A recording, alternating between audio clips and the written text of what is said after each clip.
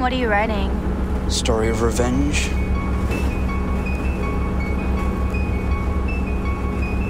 Am I in it? Cafeteria would be the place. Two Colt 45s would be the tools.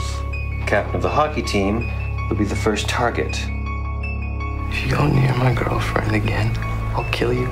It would be methodical. It would be unemotional. I was angry. I wrote things down. Stupid, but not dangerous. Can you believe this? You wanted to stand out, Sean, so now you do. How does it feel? Welcome to the human fish tank. Hey, you appease Columbine? You don't have to call me that. No, why not Columbine? Because I'm nothing like them. You put on a nice suit, you tell a nice story. You'll get a slap on the wrist, be released for time served. You can't be here. Someone sees you and they'll call the police. Why can't you just lay low?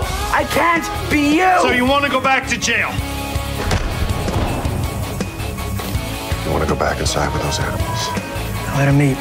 Everyone deserves the Last Supper. I wasn't planning to kill her. I wasn't planning anything. Are you recording me? When are you gonna realize she's not your friend, Sean?